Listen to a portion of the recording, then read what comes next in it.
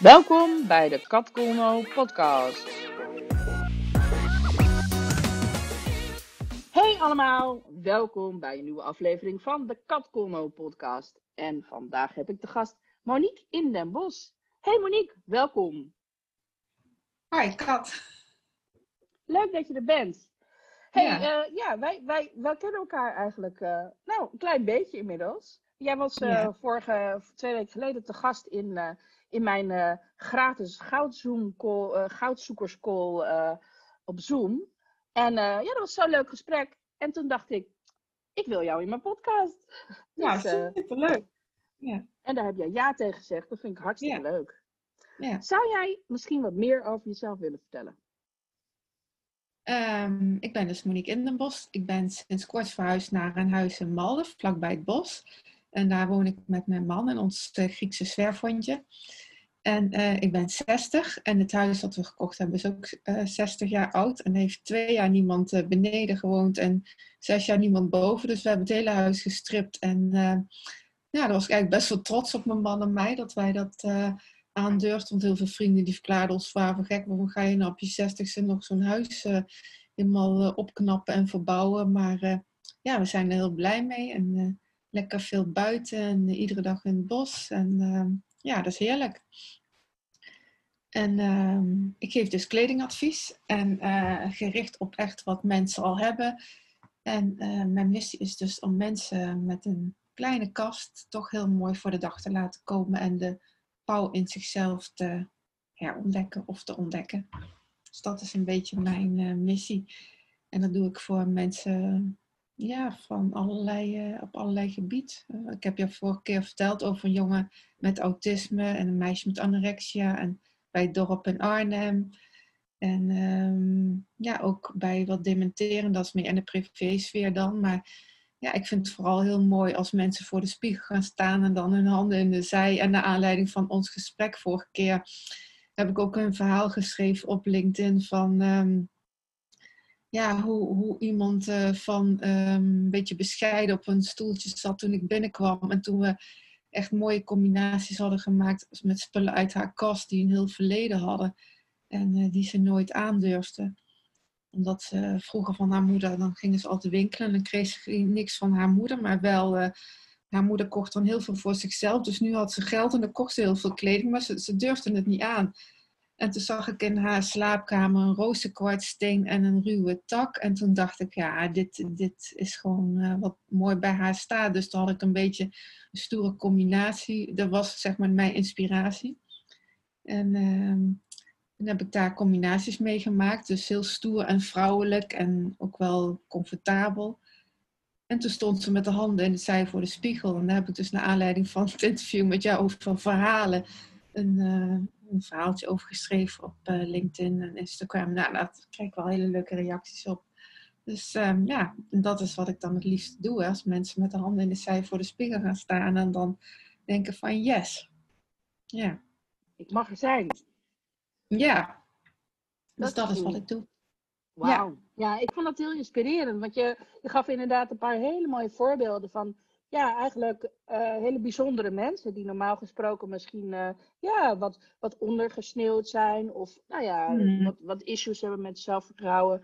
Ehm, eh, of misschien niet zo heel erg bezig zijn met mode, weet je wel. Dus Mhm. gewoon fashion wat dan... maar dat Mhm. jij zegt van ja, weet je...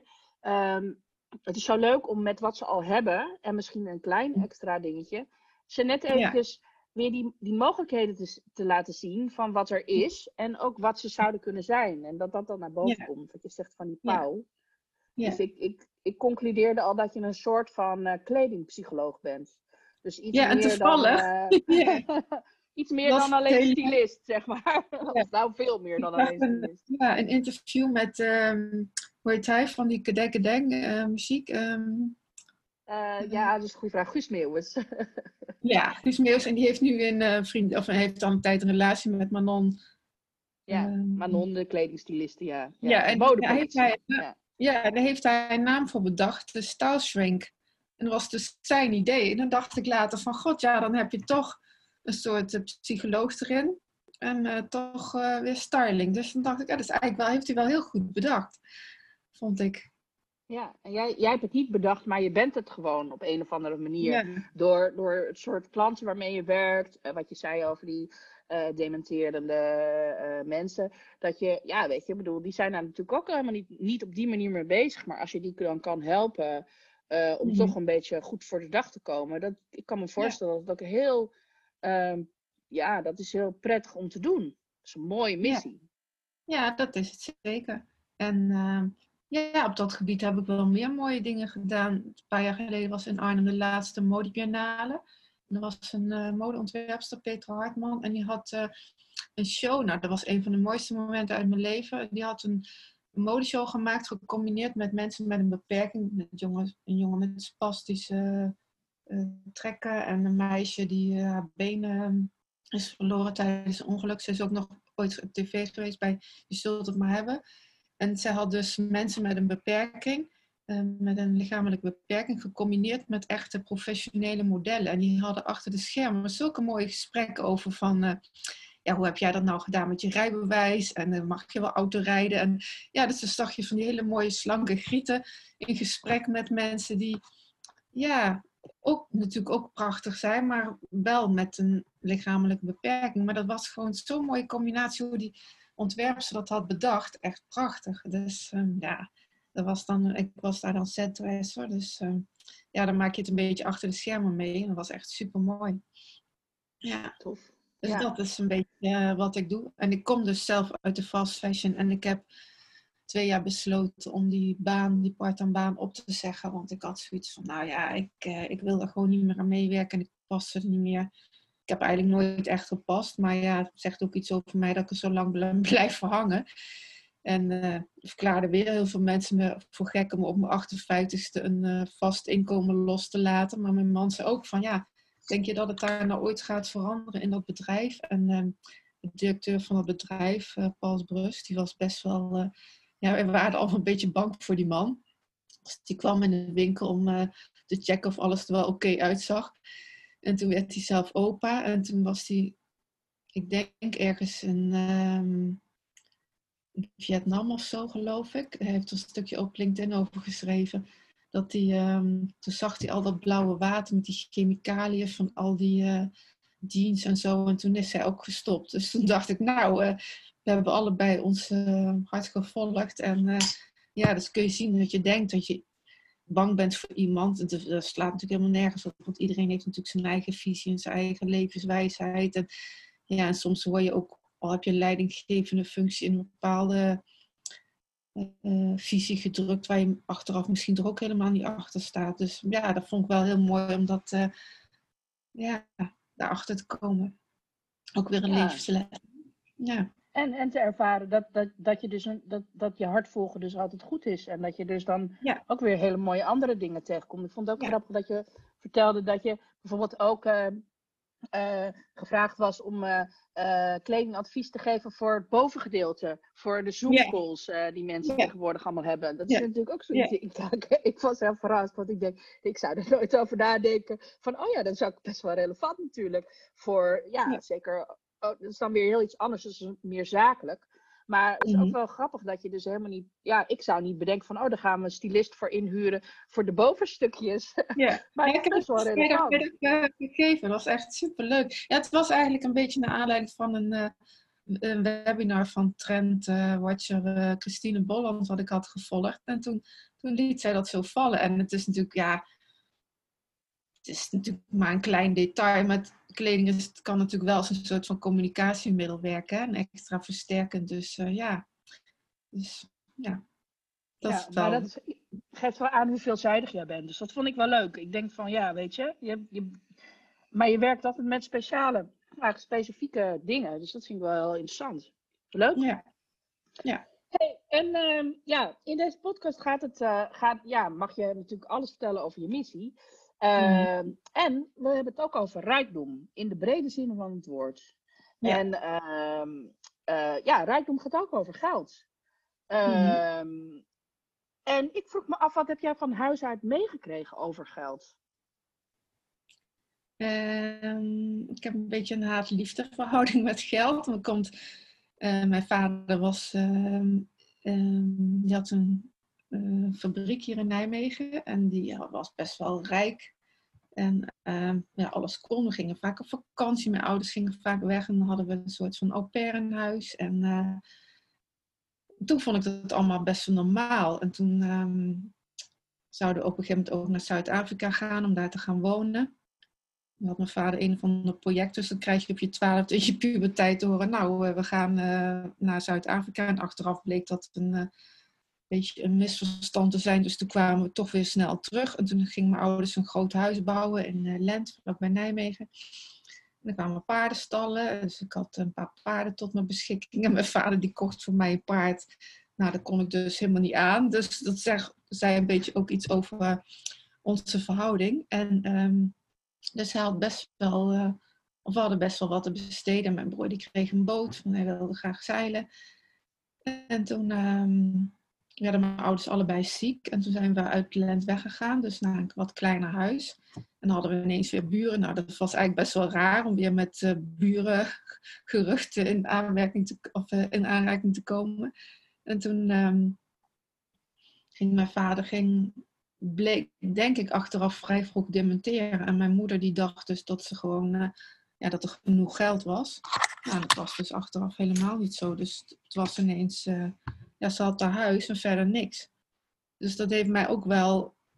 Daarom vond ik de beslissing om mijn part-time baan. Het was geen, geen topbaan, maar het was wel mijn inkomen. En um, om dat uh, even.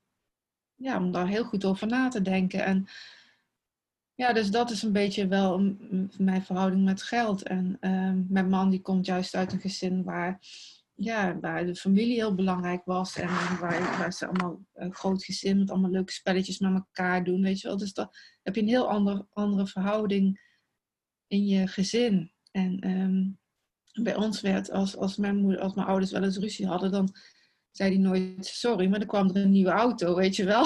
Dus ja, zo ging dat een beetje. En uh, ja, dus dat was een beetje typische verhouding met geld. Maar nu heb ik wel zoiets van, in het begin vond ik het heel lastig om geld voor mijn uh, um, uh, werkzaamheden te vragen. En toen dacht ik, nou ja, het moet eigenlijk voor een etentje kunnen. En later dacht ik, ja, ik geef eigenlijk zoveel waarde weg. Dus ik heb mijn prijzen wel verhoogd. Maar een coach zei ze, nou, er mag nog wel wat bovenop. Maar ja, dat vind ik dus nog wel een ding. Ja, dus het komt ook ja. dat je het met je hart doet. Dat is altijd spannend. Op een of andere ja. manier is toch ja. anders. Maar ja. Um, ja, dus dat snap ik wel, ja. Hé, hey, maar en als je geld hebt, Monique, waar geef je het dan aan uit? Wat vind je leuk? Aan uit? Uh, ik uh, geef heel veel geld uit aan bloemen en aan spullen in mijn tuin.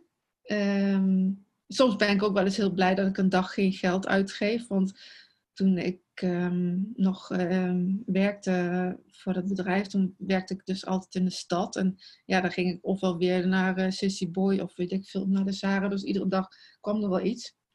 En nu denk ik wel wel eens van, god, ik heb een dag gewoon niks gekocht. Dat vind ik dan ook wel weer oké. En uh, ja, mm. ik, ja, ik hou er wel van om naar een mooi museum te gaan of lekker naar een andere stad. Um, mooie uitstapjes te maken. Um, ja, maar vooral iedere, iedere week koop ik wel bijna altijd twee bossen bloemen. Daar kan ik wel heel erg van genieten. Dus uh, ja. En dan maak ik wel weer een mix van allerlei dingetjes. Dus het hoeft niet altijd een complete nieuwe bos te zijn. Maar ja, dat vind ik wel altijd heel, heel fijn om, om, om me heen te hebben. En mooie bladen koop ik ook graag. En uh, kleding dus een stuk minder. Ik denk, als ik pretendeer haal meer uit je kast, dan moet ik dat zelf dus ook doen.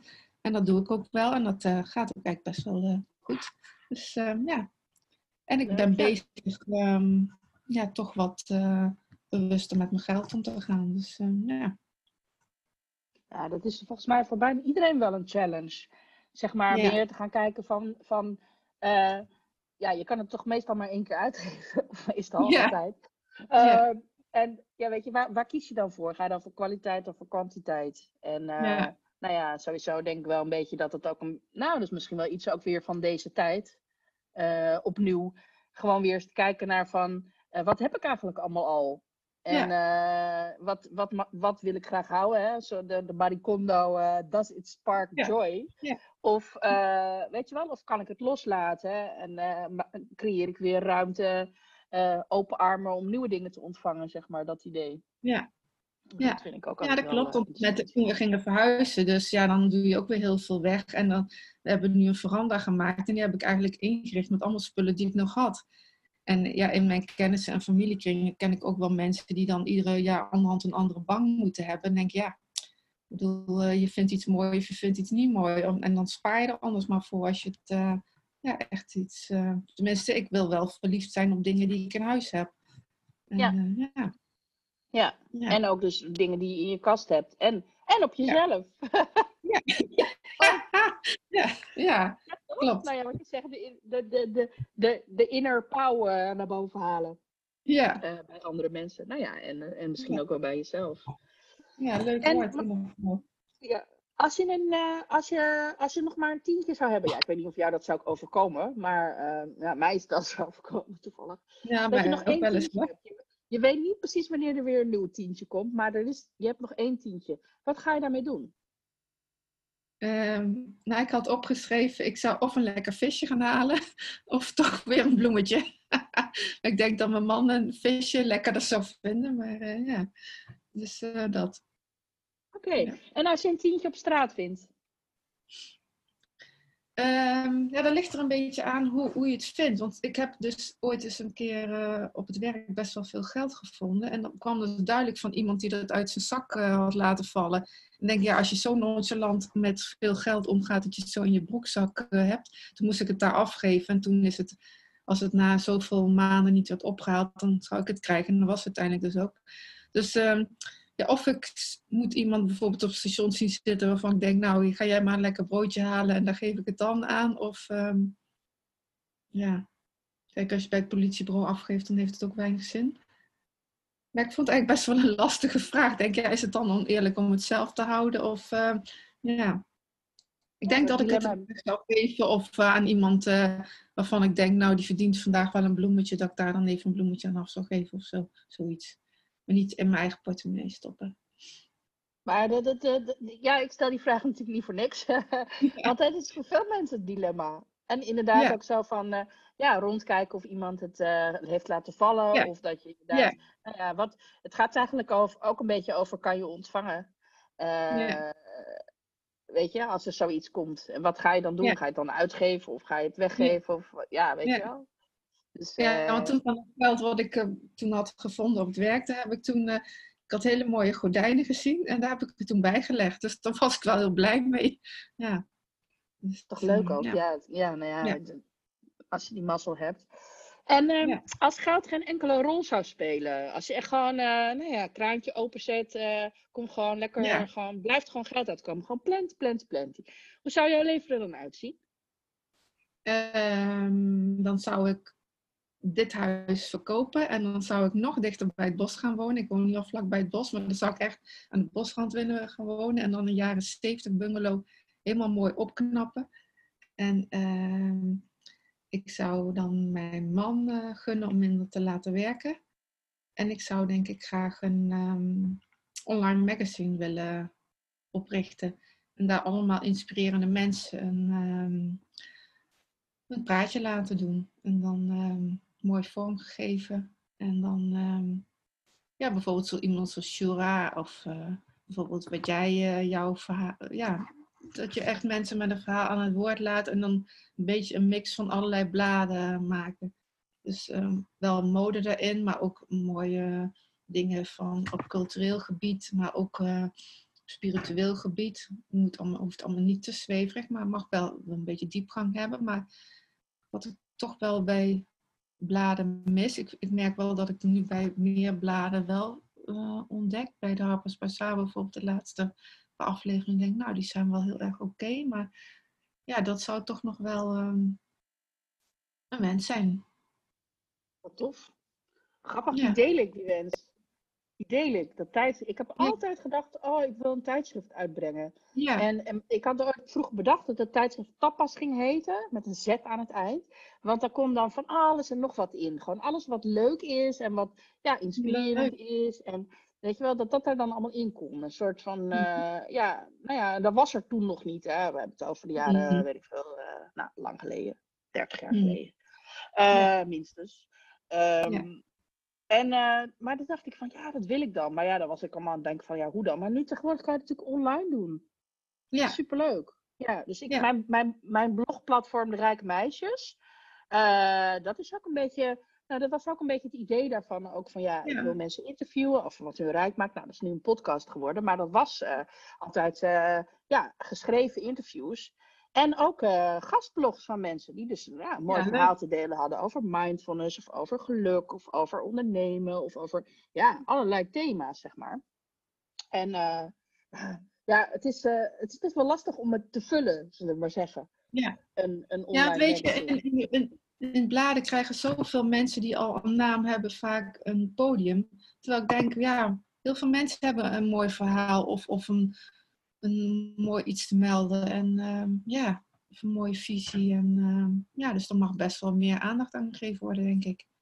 ben ik het helemaal met je eens. Dat was ook mijn reden. Zo van, ik wil geen, ik wil Ja. geen BN'ers. Ik ken er genoeg Ja. hoor, daar gaat het niet over. Maar dus ik heb ook nog ooit in de media gewerkt. Maar ik, ik, Mhm. ik had een beetje zoiets van, ik wil juist de, de, ja, de mensen die niet zo snel op de voorgrond treden, die wil ik een podium geven. En, eh, ja, ja, en mooi. Ja, volgens mij heeft iedereen een mooi verhaal. ja. Sommige mensen vinden hun verhaal heel vanzelfsprekend. En daarom denken ze van ja, het stelt niks voor. Maar ja, voor iemand Mhm. anders kan het net dat ding zijn waarvan ze zeggen van... Ah, dat vind ik super gaaf. Oh, wat leuk dat je dat doet. Oh, je bent een stapje verder op, op de eh, hero's journey dan ik. Dus nou, weet je wel, Mhm. dat idee. En dat is natuurlijk Ja, ook, mooi. ja, dat, dat is ook jouw kracht, denk ik. Dat je, ja, weet je, de levenservaring en dingen. En je, ja, je ziet toch dingen vanuit een ander perspectief. En misschien ook wel omdat je in die fast fashion hebt gewerkt. Dat je ook gewoon, ja, dat je het ook breder kan zien. Mhm. Nee, dat klopt. En daar, komen natuurlijk, daar kwamen natuurlijk ook mensen uit de hele samenleving. En eh, van eh, ja, mensen met heel veel geld tot weinig geld. En eh, ja, dus er was, ja, het was altijd wel toch wel inspirerend, vond ik. En eh, ja, en dat is eigenlijk wat ik nu eigenlijk ook doe. En ja, en die dingen die ik dan af en toe als vrijwilliger doe, ja, dat is gewoon ook mooi om te doen. Dus eh, ja. Ja. ja. Daar krijg je dan misschien geen geld voor, maar daar krijg je energie van. Dat is ook mooi. Ja, enorm. ja, dat klopt. En, maar je krijgt er ook weer een, ehm, een visie over, op terug van hoe je naar je eigen, dat je toch wel dankbaar mag zijn dat je twee gezonde kinderen hebt en eh, dat je een, eh, een fijn huis hebt en dat je gewoon je boodschap kan halen en dat je kan lopen en eh, hè, al dat soort dingen. Ja, De, rijk- de rijkdom eigenlijk, hè? Dus Ja, dat altijd- ja, dan is die hele, dit hele, eh, deze hele interviewserie is daar eigenlijk op gebaseerd. Op het kijken naar wat er allemaal is. Dus ik, Ja. ja. ik ben ook wel nieuwsgierig. Wat maakt jou rijk? Ehm, wat maakt mij rijk? Nou, ik heb twee. Ik had nooit gedacht dat ik dat eh, in een interview ooit zou zeggen, maar mijn kinderen die, de- ja, die, die maken mij ook wel heel rijk. Die, die leren mij ook heel veel. Ehm, iedere dag eh, de dag beginnen met een boswandeling. Nou, dat geeft zoveel rijkdom en zoveel schoonheid aan je leven. En ook geestelijke rijkdom. Dat je een uur. Ja, ik moet dan wel even kijken of de hond eh, bij me blijft. Maar eh, een uur een beetje kan nadenken over allerlei dingen. En eh, heb toevallig laatst ook in een ander interview verteld. Ik, oh, vanuit onze slaapkamer kijk ik op twee bomen. Nou, dat is dan ehm, mijn ochtendsessie om daar even lekker naar te kijken en even te mijmeren. En nou, dat is al zo'n rijkdom als je zo je dag kan starten met kijken naar eh, twee bomen. En dan, ja, nu nou, de herfst een beetje gaat naderen, wordt natuurlijk een ander verhaal. Maar het is wel heel fijn. En dan denk ik van, eh, ja, dat hebben we toch maar mooi gefixt. Gewoon om hier eh, een fijn huis te kopen en lekker op te knappen. En eh, ja, dat geeft wel heel veel rijkdom. En eh, allemaal gezond. Of ja, mijn man is dan heel goed uit een herseninfarct gekomen. Dus ja, dat had allemaal heel anders kunnen aflopen. Dus dan denk je wel van jeetje, dat is toch wel heel veel rijkdom. En ja, Dat vind ik wel echt. Kijk, en dat grote huis waar ik met mijn ouders woonde en met die paarden, was natuurlijk allemaal super fijn. En uh, we hadden daar toen geen geldzorgen. Maar op een gegeven moment denk je, ja, komen die vriendinnen nou voor mij of komen ze om paard te rijden, weet je wel. Dus dan is het, het is gewoon, ik ken ook de hele andere kant van rijkdom. En van, van ook een beetje zo'n nepwereldje. En uh, ja, dus ja. Dus rijkdom is het voor mij niet echt alleen maar geld. Kijk, het is natuurlijk heerlijk als je er niet over wakker hoeft te liggen. Dat je naar winkel je boodschappen kan gaan halen. En toevallig had ik het een tijd geleden bij een marketingtraining over. Van, ja, natuurlijk is het fijn als je veel inkomen hebt. En dan kun je natuurlijk ook mooie dingen doen. Diegene die die training gaf, die heeft een school in uh, Nepal opgericht. En denk, ja, dat is natuurlijk prachtig. Dus zo kun je er ook naar kijken. Hè? Van dat je op een hele andere manier naar geld gaat kijken. Dat je niet alleen maar voor jezelf hoeft te houden. En nog een duurdere merkauto of nog een auto erbij of weet ik veel wat. Of uh, de zoveelste merktas. Maar dat is natuurlijk prachtig als je zoiets ermee kan doen. Dat, dat geeft volgens mij heel veel um, voldoening. Dus dat is een beetje mijn visie op uh, rijkdom. Mooi. Het is ook mooi dat je, nou ja, dat je ook iets over die andere kant zegt. Hè? Dat je ook ervaren hebt hoe het is. Want heel veel mensen die willen heel graag rijk zijn. In de zin van veel geld hebben. En dan mm. alles kunnen kopen. Maar dat is toch, ja, weet je, als je dat zelf meegemaakt hebt. Dat is het toch ook niet? Conclusie of zo, ja. En het, maar wat je zegt, als, als, de ja, als de goede mensen genoeg geld krijgen, dan kunnen ze wel heel gave dingen doen. Dat is dan wel weer ja. leuk. Ja, want er was toevallig laatst ook, uh, stond geloof ik in de Volkskrant over twee mannen. Die ene die kon nog maar meer geld hebben voor zijn dood. En die andere man die wilde voor zijn dood al zijn geld op hebben. Terwijl hij echt of miljarden had zelfs, geloof ik. Ik weet even niet hoe die heet. Maar dacht, ja, dat is toch wel super mooi als je dat uh, kan doen dan. Hè? Ja. ja. Ja, dus het is niet, het geld aan zich is niet vies. En geld is ook uh, gewoon handig. Ja. Dus, uh, maar ja, het is wel, uh, ja, er, zit, er kleeft voor veel mensen wel veel gedoe aan. Ja. En, eh, ja, dat is een beetje jammer. Ja. Dus dat is ook een beetje wat, ja, eh, leuk om die rijkdom even wat in een wat breder perspectief te plaatsen, zeg maar. Ja. En nou ja, dat vind ik inspirerend hoe je dat vertelt. En ja, ja over inspiratie gesproken, hè? heb jij uh, bijvoorbeeld, wat inspireert jou? Heb jij bijvoorbeeld een favoriet boek? En welk boek is dat? Um, ik vind het boek uh, van Jimmy Nelson, uh, Homage to Humanity, dat vind ik een ontzettend mooi boek. Dat inspireert mij heel erg, maar dat is meer een visueel boek en daar hou ik eigenlijk ook wel heel erg van. En daar doe ik zoveel inspiratie uit op over sieraden en ook over andere culturen en over kleurencombinaties en borduurwerk. En uh, ja, dat vind ik echt heel erg mooi. En uh, een boek waar ik heel erg van onder de indruk was, dat is. Um, um, even kijken, heb het opgeschreven? Um, wat is de wat?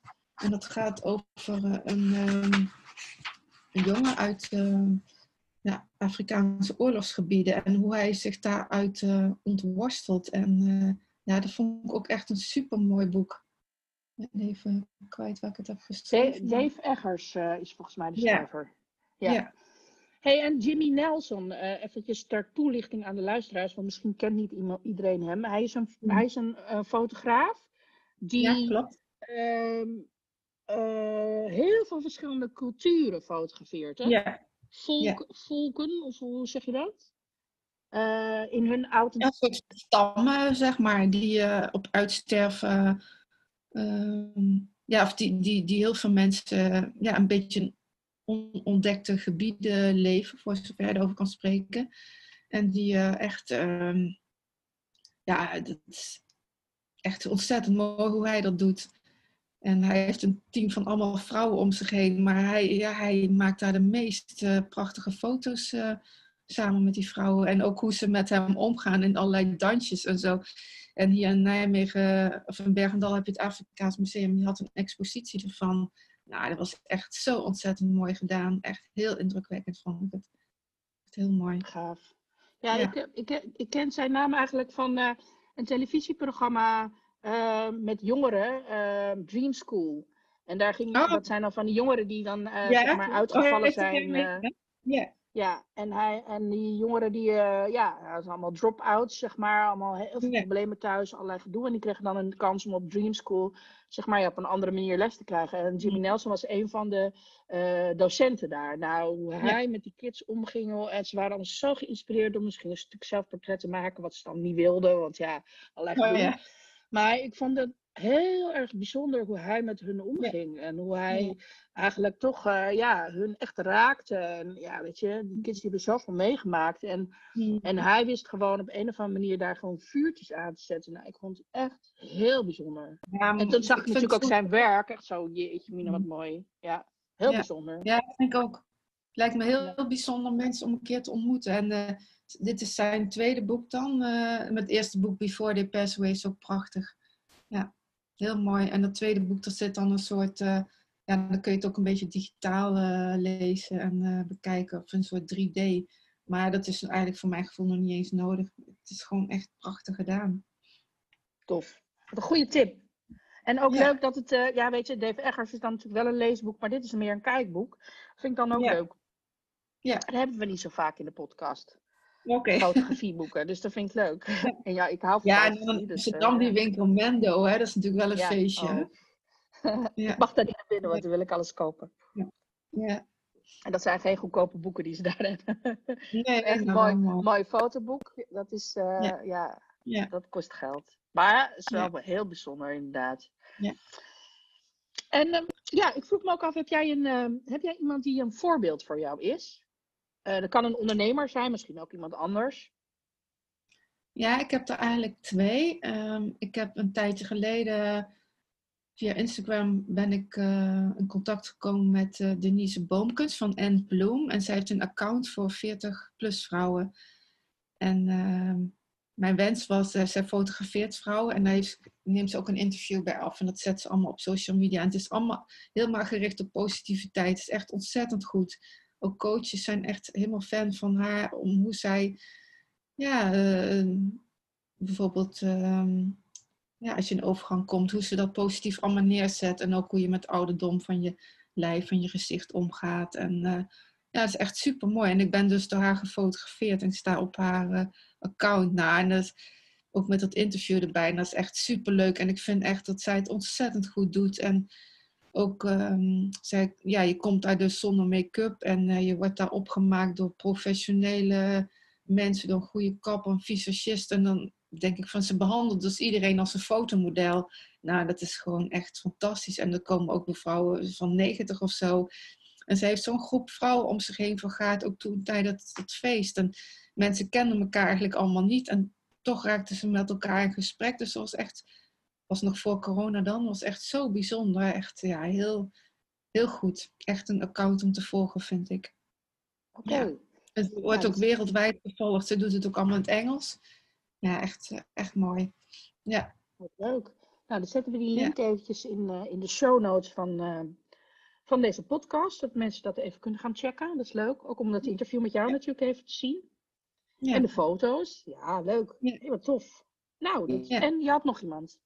Ja, ik heb Yvonne van Bergen. Ik heb toevallig een kaartje van haar hier uh, liggen. En um, zij is kunstenares, maar zij is een, uh, een niet echt. Uh, komt toevallig net een berichtje van uh, Denise binnen, van, van Anne Bloem. Um, zij um, is eigenlijk een, een, kunstenaar, maar in de kunstenaarswereld wordt ze niet geaccepteerd, omdat ze eigenlijk, of nee, niet, dat het te groot woord misschien, maar mensen vinden haar te commercieel. En zij heeft dus ook een, een online training nu. En dan leert ze mensen um, intuïtief tekenen en schilderen. En uh, dat heeft nu haar Engelse uh, uh, versie al gelanceerd. En zij is dus eigenlijk van huis uit kapster. En ze heeft, um, ja, door hard te werken, heeft ze een opleiding in België betaald om, aan de kunstacademie. En dat vind ik dan toch wel heel erg goed, weet je wel. Dan denk ik, ja, hoe mooi kun je het hebben dat je jezelf zo, uh, zo vol gaat voor je missie. En dat je, dat je ze verkoopt dus heel goed. Mensen vinden de, haar kunst misschien een beetje te commercieel, maar ja, ik vind het gewoon prachtig hoe ze, hoe ze zichzelf in de markt zet en hoe ze volop voor haar missie gaat en s morgens vroeg opstaat. En uh, eerst werkte ze echt ontzettend hard, van s morgens vroeg tot s avonds laat. Maar toen heeft ze door een uh, bepaalde coach, Fijke Wilmsen, daar heb ik ook een, een paar sessies bij gevolgd, om vanuit de rust meer te gaan werken. Ja, en dat is eigenlijk wel heel inspiratievol, vind ik, dat je dan ja, van, van ja, niet dat ik op een kapsel neerkijk, want ik bedoel, heb je natuurlijk ook een hele mooie functie in het leven. Ben je ook een halve maatschappelijk werkster af en toe. Maar dat je zoiets krachtigs dan neer kan zetten, ja, dat vind ik wel heel erg mooi. Ja. Ja, dat is prachtig, vind ik. Ja. Dus, ja. Tof. Ja. leuk. Ja. Ik had zo leuk. Iedereen, iedereen kijkt naar inspiratie vanuit een ander perspectief. Dat vind ik dan ook heel leuk dat je inderdaad uh, ja, een kunstenares noemt. En uh, ja. ja, iemand die, uh, die ook de pauw in andere mensen naar boven haalt. ja. ja. Ja, tof. Ja. Hey, en, en uh, als ik jou echt zou kennen, zou ik weten dat, puntje, puntje, puntje, vul aan. Ehm, dat ik verliefd kan zijn op een kledingstuk. En dan uh, ga ik er ook net zo lang voor tot ik dat ooit een keer in mijn kast heb of schoenen. Is eigenlijk een beetje ook door mijn vader gekomen. Hè? Dan uh, kreeg ik het van mijn moeder niet, maar dan van mijn vader wel. Dus dat was wel weer leuk. Dus daar is mijn liefde voor mooie spullen voor ontstaan, ook voor in huis. En um, dat ik me niet altijd op de voorgrond zal dringen, maar als ik iets vind, dat dat dan ook wel gebeurt. en um, ja, dat ik ook wel vind dat je, dat je ook in oplossingen moet denken en dat je niet zo snel bij de pakken neer moet gaan zitten. Dus is dat Mooi. voldoende? Of, uh... Mooi, ja zeker, zeker. Prachtig. Ja. Okay. En um, wat zie jij als jouw jou, jouw grootste levensles of levensinzicht? Um, mijn grootste levensles is. Um, nou, het, uh, zeven jaar geleden heb ik je al verteld. Toen, toen was het best wel een heftig jaar. En toen was mijn man, die kreeg een herseninfarct. En zelf dacht dat ik darmkanker had. En, of nee, hersenkanker, sorry. En dat is natuurlijk een verschil. En uh, mijn vader overleed en onze hond ging dood. En mijn zoon ging, kreeg een ongeluk. En toen dacht ik iedere keer op het werk van, oh jee, ik, uh, ik heb nu gewoon structuur nodig. En als je dat dan aangeeft bij mensen, dat ze daar dan niks mee doen. Maar dat je dan ook wel aan jezelf toe mag geven, dat je het pittig mag vinden. En, um, maar dat je dan ook wel weer de, de veerkracht moet hebben om het, uh, om het allemaal toe te laten. En dan weer denken van, nou, kom, dit is geweest en uh, nu gaan we weer verder. En, dat je dan je hart gaat volgen en, um, of blijft volgen. En vooral doet waar je goed bij voelt. En um, ja, dat heb ik dus ook gedaan toen ik twee jaar geleden die, die part-time baan opzij bij, uh, bij die fast fashion uh, keten. Dat ik dacht van ja, ik ga nu gewoon voor mezelf kiezen. En dat, je, dat ik altijd dacht van oh, als mijn gezin het maar allemaal oké heeft en als het kinderen goed gaat. Maar eigenlijk is het ook belangrijk dat je zelf goed in je vel zit. Want ja, dat is ook wel een, uh, een, een ding, vind ik. Dat je, als je niet goed voor jezelf zorgt, dan kun je ook niet goed voor een ander zorgen. Dus uh, ja, dat kost dan ook pakken energie. En uh, ja, dus dat is eigenlijk wel wat ik belangrijk vind. Ja, mooi. Het is het, het verhaal van het zuurstofmasker in het vliegtuig. Hè? Dat je dan eerst die zelf op moet doen om dan daarna andere mensen te ja. kunnen helpen. Maar ja, ja. dan moet iets gebeuren of zo voordat je je realiseert van, oh ja, oh, dat werkt ja. zo. Uh, en dan heb je wel inderdaad een, best wel een grote berg uh, toestanden gehad. Uh, waar je dan je doorheen moest worstelen. Hoe, hoe heb je dat gedaan? Of hoe, hoe ben je aan die veerkracht gekomen? Of had je die al? Is dat iets wat je kan leren of ontwikkelen? Of hoe zie je nou, ik weet wel van mezelf dat ik wel heel sterk ben. En uh, zijn mijn kinderen eigenlijk ook wel. En uh, daar ben ik ook wel heel blij omdat ze dat hebben. Maar um, ja, vooral blijf dingen doen die je leuk vindt. En uh, ondanks dat, je, ja, dat ik 60 ben, dat je toch, um, ja, iedere dag mag er wel iets nieuws op pad komen. En dat houdt je ook veerkrachtig. En uh, en, uh, en jong van geest. Dat vind ik toch wel heel belangrijk. Ik bedoel, als ik dan zie die mensen omge omgeving met Alzheimer, dan denk ik ja, zolang je hersenen het nog goed doen, geniet ervan en uh, doe dingen waar je iets van kan leren. Ik wil nu graag een, een rijke opleiding gaan volgen en iets anders op ja, psychologisch gebied. Dan denk ik, nou, dat vind ik wel een hele mooie verdieping. Dus dat, um, wil ik toch wel in deze dagen ja, iets voor, gaan zoeken wat echt bij mij past. Dus uh, ja, lijkt me wel heel mooi om dat te doen. En zo uh, vind ik dat je ja, jezelf, uh, je leven ja, op een mooie manier nuttig kan maken die bij je past. Maar je bent van nature al wel best positief ingesteld, of, of zie ik dat verkeerd? Je, dus toen je man zo ziek was, ik bedoel, ja, hoe, hoe blijf je dan zeg maar vertrouwen houden in dat het goed komt? Um, nou, hem ook in zijn waarde te laten. Want uh, ik heb het gezien bij mijn schoonzus. Mijn zwager heeft ook een uh, herseninfarct gehad. En die, die, was er wel wat slechter aan, moet ik zeggen hoor. Maar zij ging over, ze wilde me het weekend overal mee naartoe hebben. En dan aan het etentje dit. Nou, ik heb toen wel die tijd gehad dat mijn man, als hij dan echt geen zin had, dan ging ik het of alleen of ik bleef thuis. En dat is misschien wel een opoffering geweest, maar zo, zo zie ik het zelf niet. Ik bedoel, uh, ja, ik, hij heeft mij ook altijd gesteund, dus ja, dat vind ik dan andersom, uh, ja, vind ik dat wel, uh, ja, dat, dat, dat je dat ook moet doen en ook uh, moet laten. En uh, ja, dat, uh, ja, hij is te mooi mens om dat niet uh, voor te doen. Dus ja, um, zeg je dat goed? Ja, weet je, je kunt natuurlijk altijd. Ik, heb een goed voorbeeld van mijn moeder, hoe je in het negatieve kan blijven hangen en ook nooit over iets mag praten. Zoals toen mijn broer ging scheiden, nou, dat mocht niemand weten. Was in het, uh, ja, dat is inmiddels uh, eh, 25 jaar geleden. Maar ik denk, ja, wat heb je daar aan? Niks toch?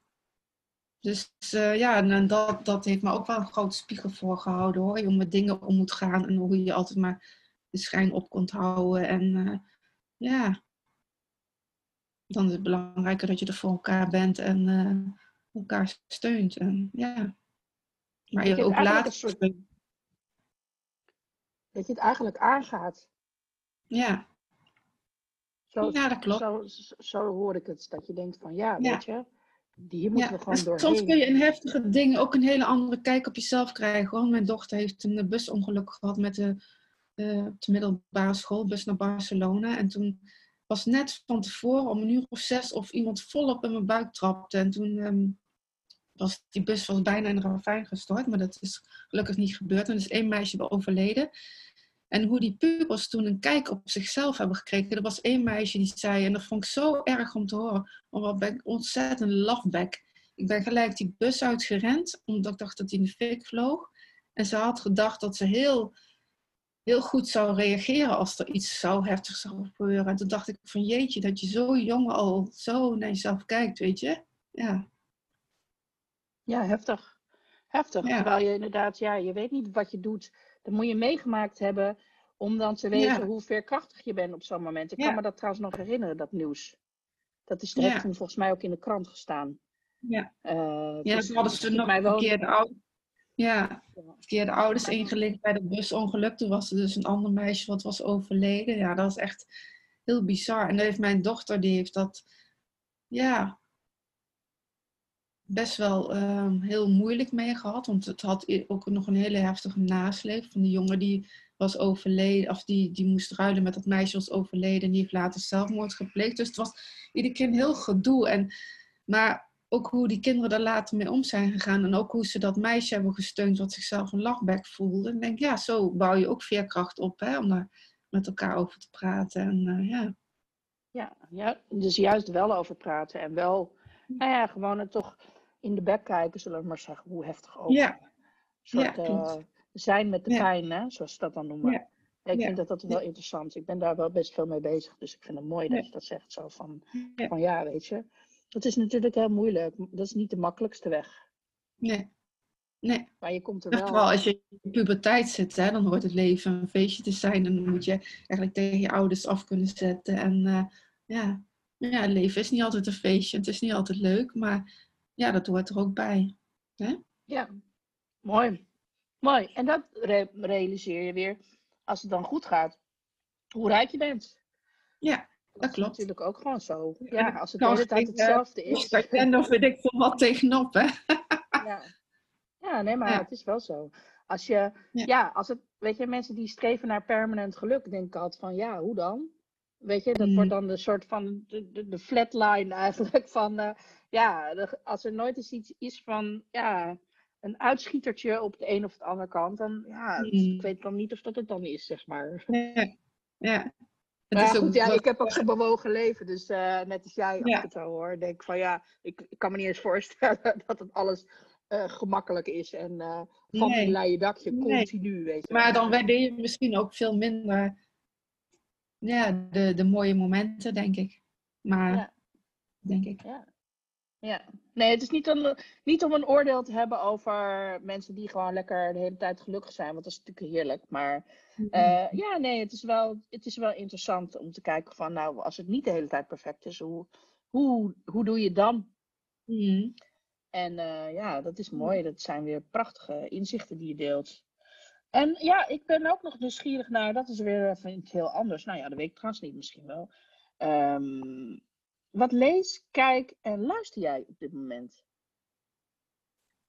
Ik ben op het moment, ehm, even kijken, hoe heet dat boek? Ehm, de Hemel verslinden ben ik aan het lezen. Dat is de opvolger van, ehm, eh, hoe heet hij nou? De, eh, van de priemgetallen. Oh ja. Ja. Eh, en dat wel, vind ik wel een heel bijzonder boek. Ook eh, hoe, dat, ehm, ja, hoe dat werkt met, met, met pubers en eh, met omgang met elkaar. En als je een soort geloof vastzit en hoe je daaruit ontsnapt. En dat de ene dat beter lukt dan de ander. En ja, dat vind ik wel een heel fascinerend boek. En qua muziek, nou, daar heb ik eigenlijk niet echt veel tips. Want ik, mijn man die zegt altijd, jeetje, is je stil in huis. Dus eh, ik heb altijd heel veel eh, ja, rust aan mijn hoofd eh, nodig. Ja, ik denk dat ik toch wel veel prikkels altijd oppik. Dus ik, muziek is voor mij een lastig ding. Ik, ik hou wel van, ook van David Bowie en zo. Ik hou er wel van, maar meer op, op momenten. Dus ik ben daar niet zo in thuis. Terwijl mijn man daar heel veel van weet. Die heb ik ook in de muziekwinkel ontmoet. Dus dat was wel grappig. Toen hij daar werkte als bijbaantje. Maar eh, ja, ik weet er dus zelf vrij weinig van. En op tv, eh, ja, die, die nieuwe, dat nieuwe avondprogramma van Matthijs van Nieuwkerk volg ik wel. En dat vind ik ook wel interessant hoe mensen heftig op die Fidan reageren. Dus dat, dat vind ik dan wel, wel weer spannend aan, weet je wel? Hoe mensen op dingen reageren. En ehm, ik probeer wel zo, veel, zo min mogelijk tv en Netflix te kijken. Maar eh, ja, ik moet zeggen dat ik daar... ehm, ja, dat ik dan meestal een beetje aan mijn man overlaat, die tips van Netflix en zo. Dus ehm, ja, dus ik heb daar niet echt heel, ik heb wel- ja, niet echt heel veel tips over, denk ik. Of En op inspiratie. cultureel vlak misschien? Ehm, ja, dan er was in het museum, Hermitage, was een ontzettend mooie sieraden-expositie. Ik weet niet of die nog is, maar die was echt zo ontzettend mooi. En ehm met Bibi van der Velde, daar ben ik ook wel heel erg fan van. Zij eh, heeft ook wel een heel erg verhaal met een eh, zieke dochter die, die heel ernstig ziek was. En daar heeft ze een hele mooie stichting voor opgericht om eh, geld in te zamelen voor ehm, een meisje had geloof ik eh, acute ehm, ja, die had een hersentumor geloof ik. En daar heeft ze een hele mooie stichting voor opgericht. En dan denk ik van ja, en dan maakt ze ook zulke prachtige sieraden en mooie beelden. En eh, ja, dat, dat vond ik wel ontzettend mooie expositie in Amsterdam. En eh, ja, en als je dus de kans krijgt om naar een expositie van Jimmy Nelson te gaan, zou zeggen doen. Dus ehm, ja. Oh ja, en er komt in Den Haag komt een hele mooie expositie over kleuren. En ehm, het gemeentemuseum van Den Haag ook super mooi. Dat Nou. komt volgens mij weer eind van de maand. Super mooie tips. Ja. ja, misschien, moet ik, misschien moet ik mijn vraag uitbreiden, inderdaad. maar goed, jij, weet je, luisteren. Sommige mensen zijn inderdaad helemaal niet into muziek. Maar die, ik luister bijvoorbeeld heel veel boeken. En ik luister heel mm. veel podcasts. Oh ja. Ik luister ook heel veel muziek. Maar, ja. Uh, want ja, muziek is ook wel een beetje mijn ding. Maar, maar ik luister bijvoorbeeld, ja, ik luister best wel veel podcasts en heel veel boeken. Ja, en ja, weet je, dat soort dingen. Ja. ja. ja. dus dat kan ook nog natuurlijk. Hè? Dus daar kan je ook tips Ja, ik luister ook wel uh, een mooie podcast van Sabine van der Hulst. Zij is een, een coach en zij heeft een um, soort community. En daar kun je voor instromen. En daar deelt ze allemaal hele handige tips in. En ja, waardevolle visies. Maar ze heeft dus ook af en toe een podcast. En dat is echt uh, ontzettend leuk om naar te luisteren. Ja. Nou, heb je toch nog een luistertip gegeven? hey Monique, en heb je misschien nog, uh, ja, weet ik veel, uh, een mooie quote om mee af te sluiten? Of een levensles? of een, een advies? Of een tip? Of, ja, geen idee. Nou, mijn motto van mijn bedrijf is Buy Less, Choose Well van Vision Westwood. Dus koop een kledingstuk als je het een 8, een 9 of een 10 vindt. En dat vind ik eigenlijk ook met spullen voor een huis. En, uh, zo gauw het uh, een zeventje is of een zesje laten hangen. En anders nog een keer uh, opnieuw gaan passen. En ehm, ik vind dat we met z'n allen toch wel een beetje ehm, ja, beter met milieu om moeten gaan. Dus ook bewuster dingen kopen en aanschaffen.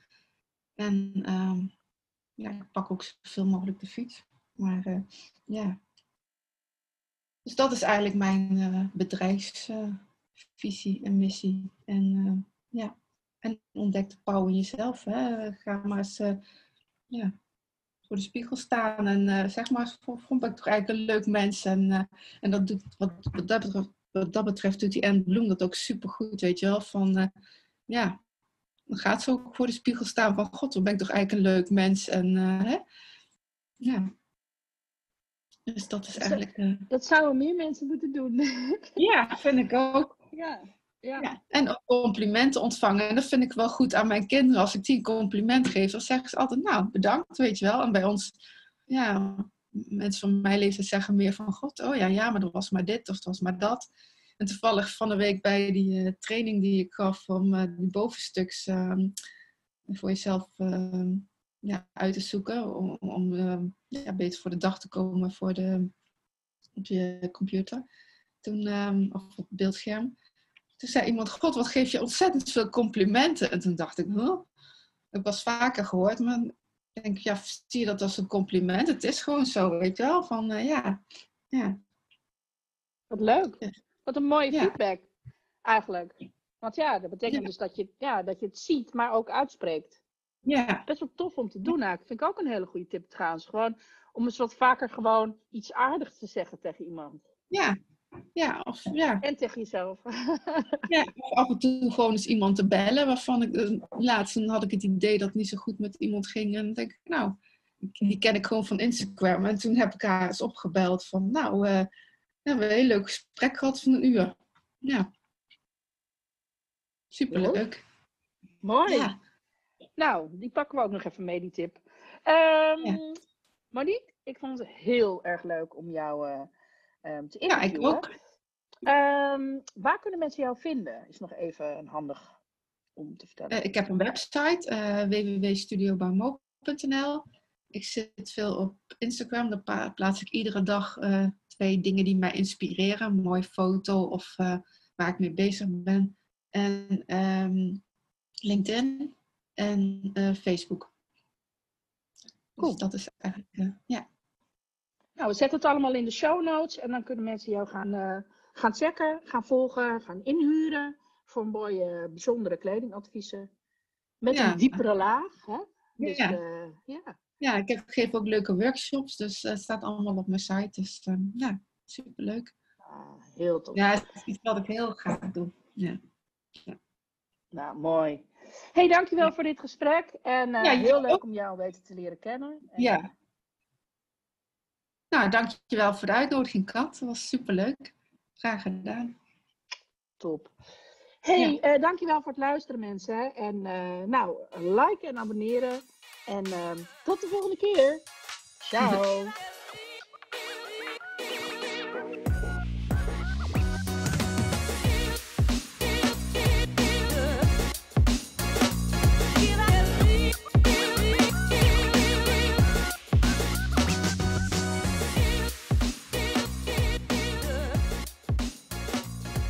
Dankjewel voor het luisteren naar deze podcast.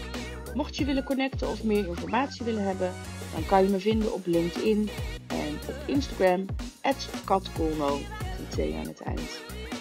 Tot de volgende keer. Ciao.